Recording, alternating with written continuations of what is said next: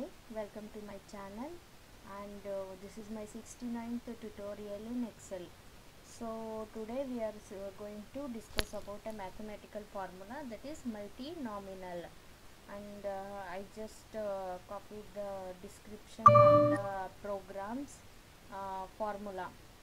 Actually this multinomial uh, to avoid confusions I just wrote the description here that is nothing but you are seeing the formula we are having the number like uh, a array set of numbers numeric values and the multinomial which will calculate the uh, factorial of the sum of those supplied values that is divided by the factorial uh, product of those factorial values.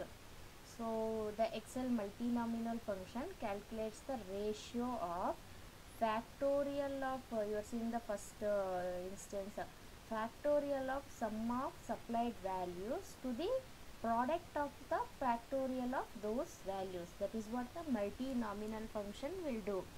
So I will just show you an example how this work. Uh, we are having a array of values here.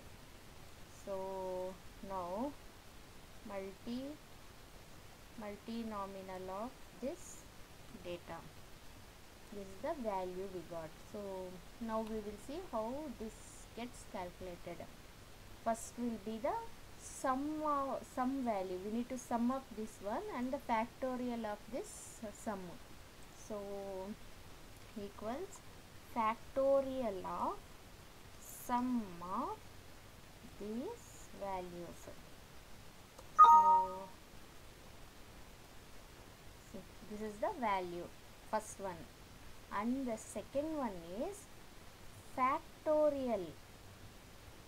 Each value the factorial of these values should be the product should do the multiplication.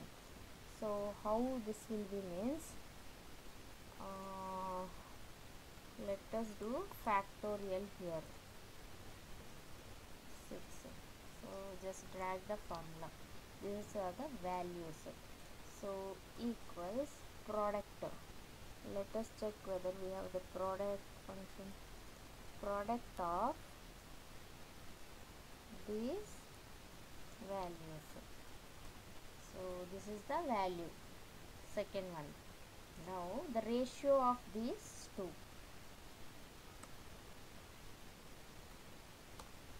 see whatever the value we got here with multinomial formula the same thing we got here. That is sum uh, we need to sum up the values and the factorial of that sum should be taken here. And each value the factorial of each value should be uh, multiplied with the other value. And the second one we will get here. The ratio of these two is the multinomial uh, function formula how that will work so the same you are seeing here the result is same. So we can also give instead of array I just gave here array we can also give the numbers. Uh, we can give the numbers address as well like this.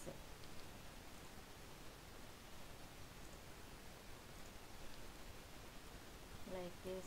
Or we can also directly enter the number as well so this is also a mathematical function um, where a slight uh, bigger uh, function which we can use it easily by using the formula. So hope this information helps. Thanks for watching the video